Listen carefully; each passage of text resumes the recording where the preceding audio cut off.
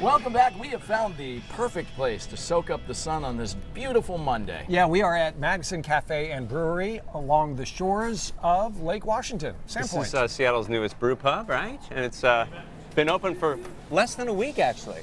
So this is brand, brand new. A lot of buzz, mainly for the incredible view, of course. Uh-huh. This building itself is also really cool. I don't know if you noticed.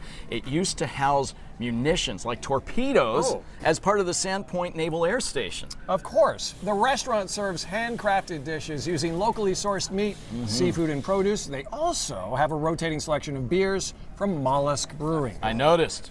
And I mentioned the view, of course, which is spectacular. But what about the food? Yeah. This is an extensive menu here. They have Oh, brunch yeah. and dinner and br- everything you want, lunch, Yes. everything in between. This is, look at this.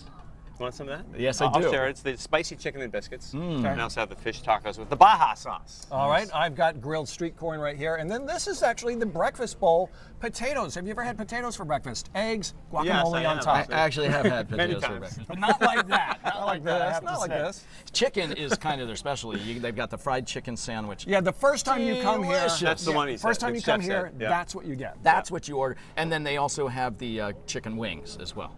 And they, it's great. Soy, garlic, honey sauce. Mm. Sounds mm. great. Mm-hmm.